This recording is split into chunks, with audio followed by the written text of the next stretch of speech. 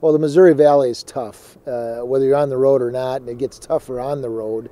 And uh, I was really excited to go down there. It's a long, tough road trip, and to get the win was a big deal for the Jacks. South Dakota State defeated Southern Illinois 45 to 39 on Saturday night, improving to 2 0 in Missouri Valley Football Conference play and 3 2 overall.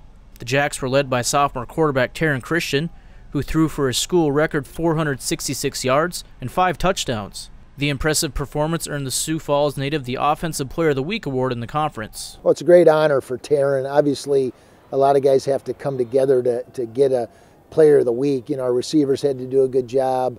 Uh, the fat guys had to do a good job, but really Taryn did a great job in the football game.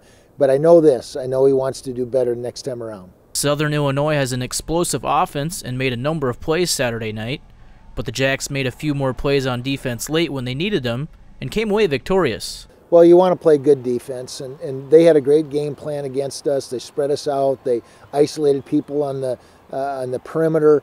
Uh, we didn't respond as well as we could have, but in the end, like you said, we, we had an opportunity to win the game on D, and we did. Perhaps the most important plays of the game were sacks by Blake Witzel and Cole Langer late. Those put an end to the Salukis' final drive.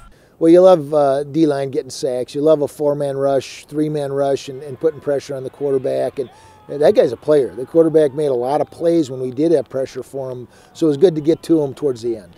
After a 1 and 2 start, Stig is pleased with the performance the past two weeks to come out and earn a pair of victories over Missouri Valley Conference foes. Well, it's one game at a time. It's good to be 2 and 0. Uh, it's good to have two down, uh, but we need to focus on the task at hand, and, and it's a big task. And we look forward to that, and, and uh, we're, we're going to rejoice in, in, after we get done with the film and then focus on the next opponent. That next opponent is I 29 rival North Dakota State. The Bison have won five straight national championships in the past eight games versus the Jacks. They're also 5 0 this season, and SDSU will have their hands full trying to get the Dakota marker back to Brookings. Well, uh, the North Dakota State game has become a, a tremendous rivalry for the Jackrabbits and, and uh, beyond what we ever had before in any situation. Uh, the border marker trophy, the intensity, the playoffs, conference championships, all those things come together. I know it's early in the season, but it's going to be a fun game. Stig's group will have to be locked in in every way possible on Saturday, especially handling the environment in the Fargo Dome. Uh, you know, the people that walk into the Fargo Dome go there to, to affect the football game. Obviously, they watch the game, but they go in there with the mentality that we're going to have an impact, and they do. And we need to be ready for that. We've been ready for that, and we need to be able to handle it. Offensively, the Bison are tough to stop. The nation's number one team hasn't missed a beat without now NFL starter Carson Wentz.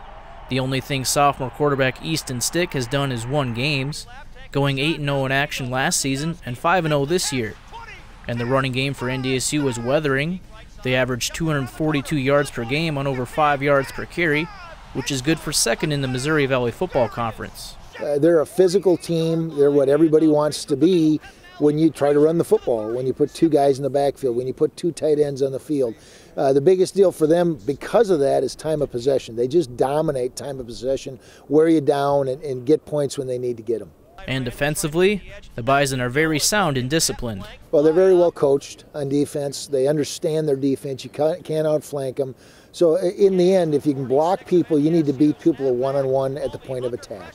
And you can isolate a receiver, you can isolate a running back, uh, but you got to stay in blocks and you got to beat the guy that's free that's going to make the play.